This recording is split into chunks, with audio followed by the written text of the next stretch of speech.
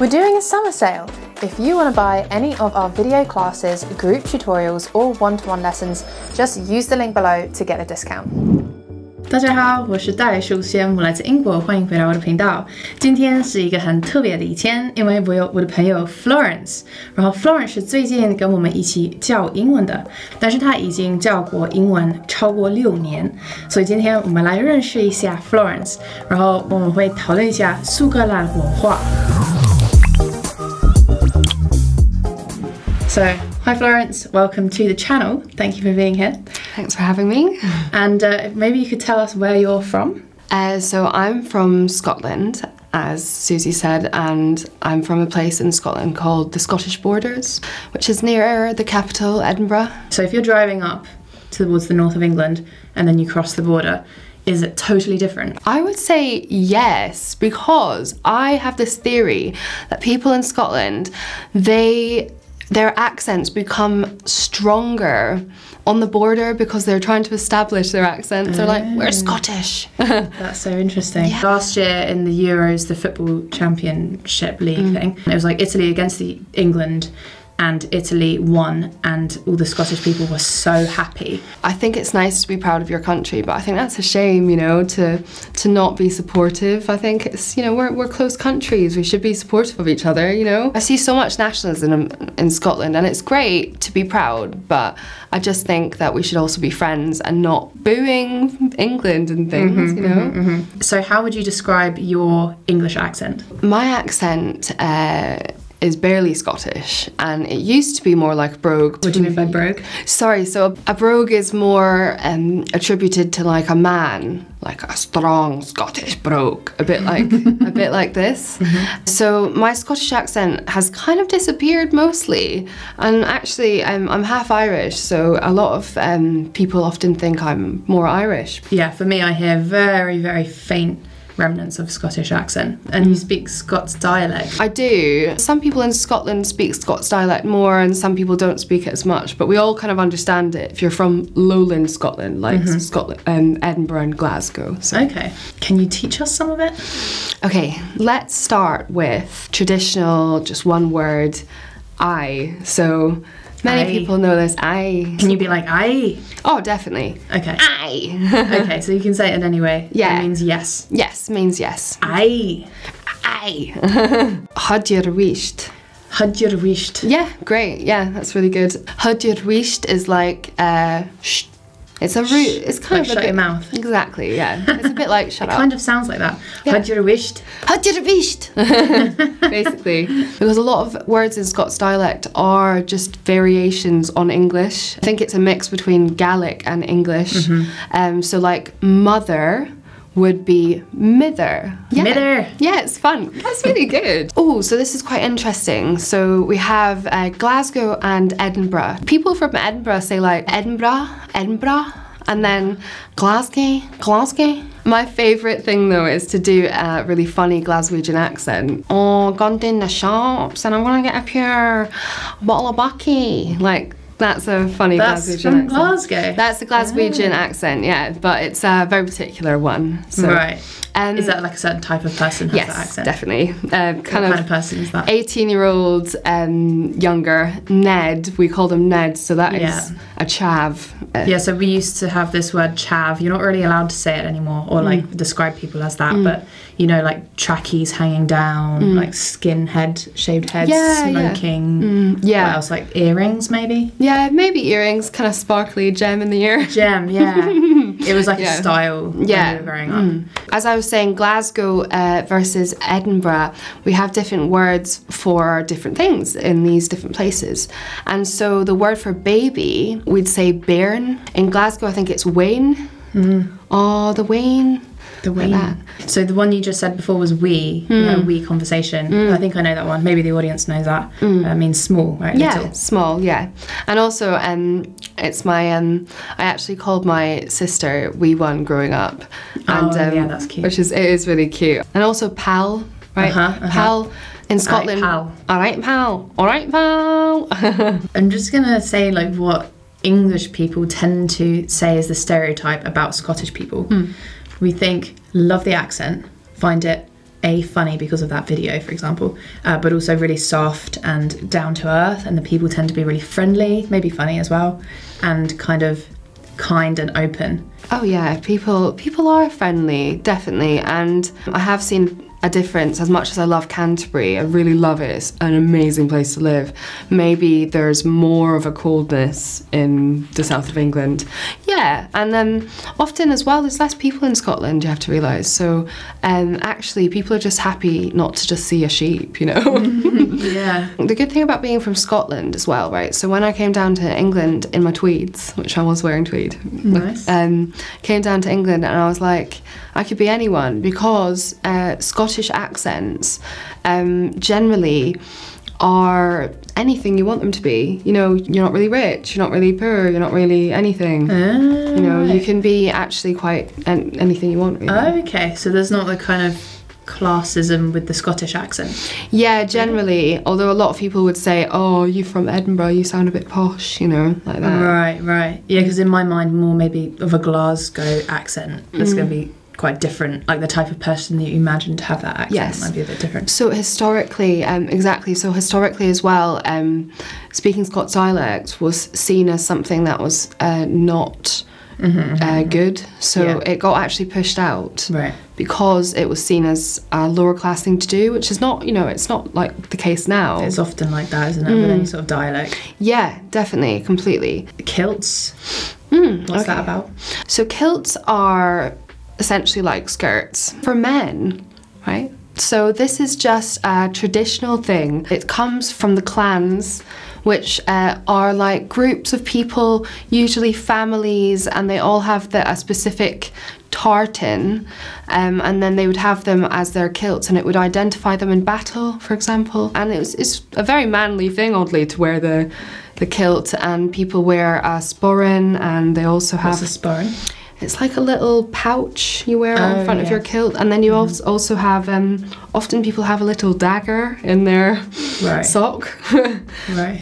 uh, people like to wear them at ceilidhs, which uh, are dances that we have in Scotland. Uh, Scottish country dance, in which we were made to do in school, by the way, much to my um, chagrin.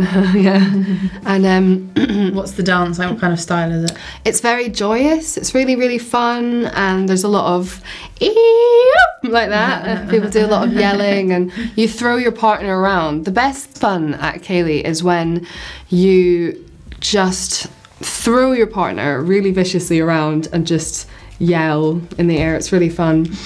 I remember when I was younger, I actually um, saw a man's kilt come up, and traditionally, um, you're not meant to wear anything under under. Really? Yeah. No underwear. No underwear. Why?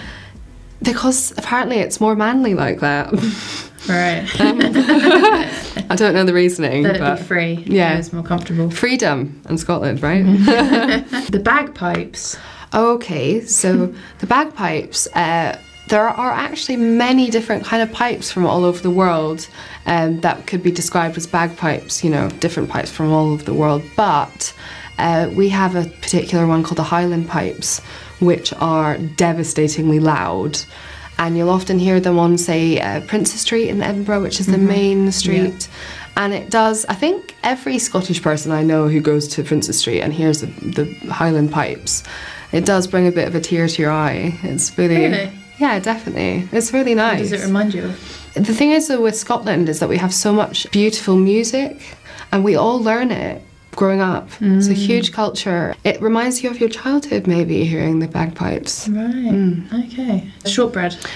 Shortbread, tablet. My mum used to make tablet. It's a bit like fudge, but not as nice. Chewy. Sorry, mum. so let me tell you a bit about, say, my childhood because it was so quintessentially Scottish. So I have two sisters. There was a lot of um, singing in my house growing up, but because we learned Scottish songs in school, we did a lot of singing together. Uh, and because there's not a lot to do in the countryside of Scotland, we'd go down to the river and um, sing together and things like this, which is really nice. Do you miss it? Yeah, I do sometimes when I hear Scottish music because I think it's so beautiful, some of it, and I really like uh, folk music from Scotland. Um, And what's really interesting, actually, some of the folk music that I used to sing growing up has uh, uses Scots dialect and also um, probably Gaelic language as well. There's loads of Gaelic. There's such a good scene of Scotland, Scottish um, music in the Highlands and Islands. But yeah, so a song called, for example, uh, Ye Banks and Braes. Ye Banks and Braes, O Bonnie Doon, how can ye chant, ye little bird? How can ye. I can't remember now. Mm. Have you got any tips for how someone can tell if someone's speaking with a Scottish accent? Basically, often Scottish um, accents can be stronger and more guttural. Often, mm-hmm. Mm-hmm. Uh, we use a lot of a bit more mm-hmm. like och. Och I the new, as it, it's meant to be the most Scottish thing that anyone's ever heard of, but aye actually don't know what it means. they say och I a lot. Och. My mum says och a lot, like och, och. Yeah, because I mean, of all the accents in the UK, for me, I find it the easiest to distinguish. There's a lot of the, yeah, more of the, mm. and the ooh, kind of softer vowels, I feel. The Irish accent mm. is more, um, it goes up and down more. Mm. Um, English, I think, stays on more of one level. Mm-hmm, mm-hmm. And same with Scot- Scottish is a bit more bouncy as well. Mm-hmm. So, and rule it like loch, loch. But don't get spit up. Yeah, don't spit anyone. No spit, no, okay. no, no, because Loch. then someone might give you a Glasgow kiss if you do that. What's that? Oh, you do you not know? Oh, it's a headbutt. Really? Yeah. Headbutt is like, Yeah, so if, if you're going to headbutt someone, you just go "Mm," like that. And so if anyone says, Do you want a Glasgow kiss? Run. if anyone ever says to you in Glasgow, Want a square go? Want a square go. I think I can guess what that means. You need to run away too. Because square up to someone is like, you want some? Yeah, And You're yeah. gonna have a fight. You want some? yeah, one square, like one square go. One square go? Yeah, if they look scary, just run quickly. Okay. Any other Scots dialect? A real classic one that I think is a really good one is uh, a dinniken. A dinniken. a dinniken or a dayken. So Okay. I would say a deken, like a deken, and I just kind of fall into it like a deken. Okay, a decken. Yeah. And then people say more in Glasgow, I've heard, this might not be true, but I think I've heard that it's more like a dinniken. A dinniken. So a dinniken, a deken. And that's, I don't know. So, Uh, yeah, sense. if you don't know, you just like a deken. Deniken. A deken. Lass. Lassie. Uh-huh. Lass. Lassie Girl. is a girl, so yeah. Bonnie Lassie is a beautiful girl. What's the stereotype about English people, the Scottish people? And it's okay, I won't be offended. The problem is, right, with uh, Scotland is that people are so proud of Scotland, and um, we are a smaller country with less people than England.